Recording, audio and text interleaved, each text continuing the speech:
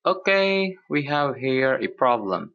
Problem goes, a hydraulic press is used to raise an 80 kilonewton cargo truck. If oil um, specific gravity 0.82 acts on the piston under a pressure of 10 mega, megapascal, what diameter of piston is required? Well, uh, nang uh, of course we know what a cargo truck is.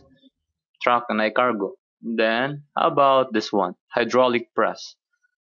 Uh, more or less it looks like this one. Nakay piston. How do we draw a piston? Okay. Ana. Piston. Then, of course, it's compressing. Nana siya isudlan na, no? A cylinder. Usually, piston is hindi siya mag-exist kung wala cylinder. So, what we draw here is a cylinder first. Then, well, Piston daw. Hmm, shall we say, ngayon na lang itsura na niya. Well, na kay kwanda na. Na kay... Ano siya? Na kay something oil diyan na. No, gama-gama lang ko, pero more or less nga nang itsura siguro. But, a hydraulic press is used to raise. Okay, so, bali, na siguro kay platform dana niya. Okay, daanan na may butang yung mga truck. Okay? Okay, so, wait.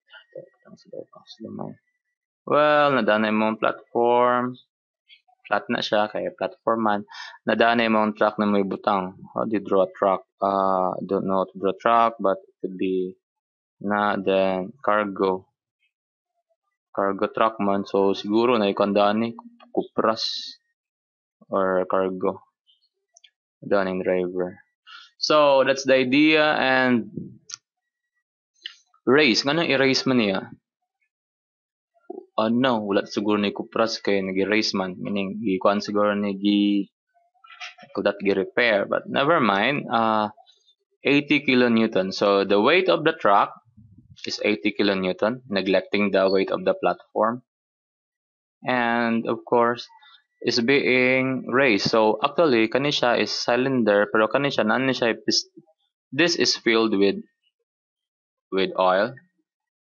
Filled ni siya with oil, kana siya tanandana. But of course, kana siya is nana siya ikuandani, nana siya somehow piston.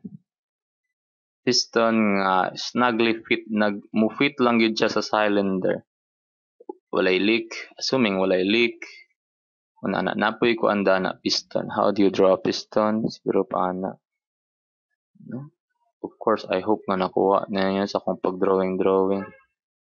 Ana lang, piston, piston, piston. It's a block, a cylindrical metal that kani siya cylinder. Diha na mag-slide-slide ang imuhang piston. Okay, so that's the idea. Ang question here is, ang kwan daw, kaniding oil kay ang pressure kay 10 megapascal. So kaning oil daw ang pressure kay 10 megapascal na.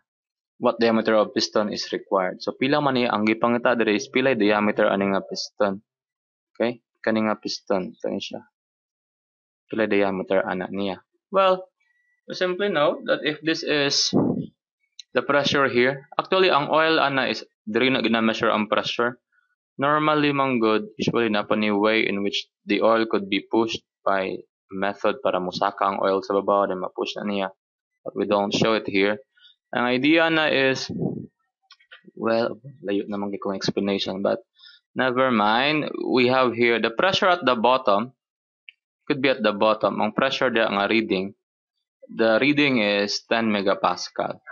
However, in this case, since dagko naman kay nga pressure, essentially what is at the top, kay mubuor man pud ni siya nga nga kuan, is 10 megapascal ang approximately ang pressure dito. Slightly lower than supposed to be 10 megapascal but mora po na ang pressure daan na sa iya. Basta ang height is mubo lang no? Negligible lang bali ang h.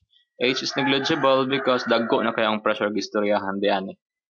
Ingana na siya nga idea so pag i-lift nimo na siya meaning ang imong truck dia is wala galihok wala pud galihok so this fluid statics the pressure here at this point is approximately 10 megapascal and it's also caused by what? Aham nang agian kuan, agian in car which is a solid. We know that pressure is simply caused by solid is force divided by area it acts. Okay?